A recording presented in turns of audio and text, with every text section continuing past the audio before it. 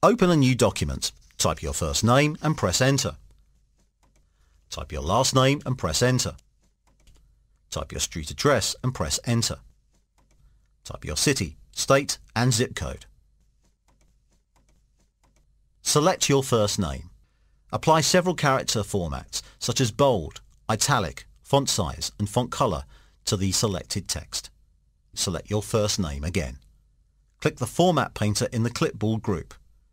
Notice that when you position the mouse painter over text, the pointer changes to a paintbrush. Here's the fun part. Like magic, your selection takes on all the formatting that you copied. Click your last name. All the font formats you applied to your first name are pasted to your last name. When you're through, hit Escape. The Format Painter button pops back up and your cursor changes back to its normal I-beam appearance.